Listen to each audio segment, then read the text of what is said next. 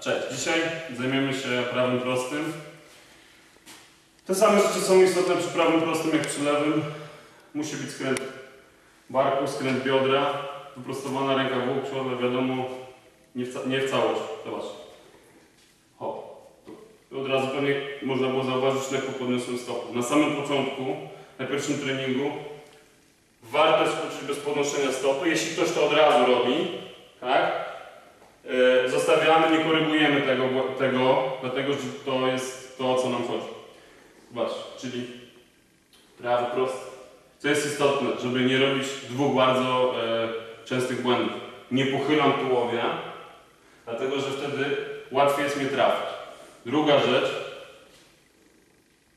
są różne takie warianty, jakieś takie próby. Niektórzy obniżają lekko pozycję i uderzają. Na samym początku jak najszybciej staram się uderzyć przeciwnika. Nie daję mu szansy na reakcję.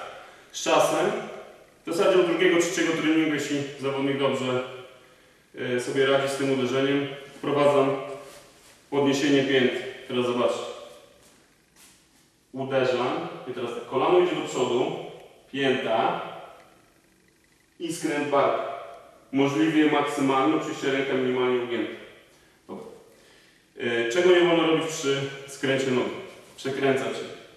Nie chodzi o to, żebym ja gdzieś tam bił, tylko bezpośrednio w prostej linii przekazywał energię uderzenia. Hop, tu. Ok?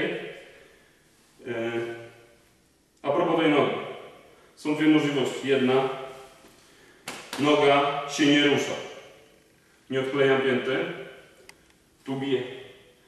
Co powoduje, że będę miał większą siłę, ale jeśli za chwilę powinniście zobaczyć na filmie, podniosę piętę i dam kolano do przodu, mam większy zachód. Więc w zależności jak, jak chcecie, ja generalnie umiem i tak przekazuję tu. Można, jeśli ktoś czuje się niekomfortowo, że na tej nodze, też błędem jest takim, że siadam na nodze, tu. To jest też złe.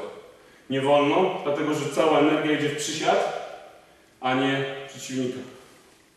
Zobaczcie.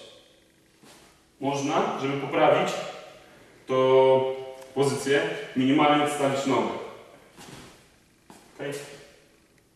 Dobrze. Teraz na tarczy. A, ważna, bardzo ważna rzecz. Prawy prosty. Prawy prosty zawsze bijemy z miejsca. Czyli nie robimy takich rzeczy. Tak? Z miejsca.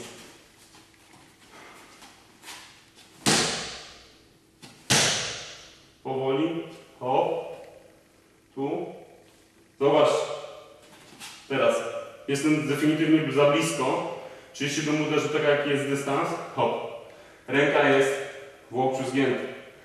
Ja wiem, że muszę wyprostować, więc tak uderzę, żeby przepchnąć tarczę. Napnij mocno rękę. Przepchnę. Też musicie zwracać na uwagę podczas treningu z partnerem, żeby była odpowiednia odległość, żeby wiedzieć, że ręka musi być maksymalnie wyprostowana.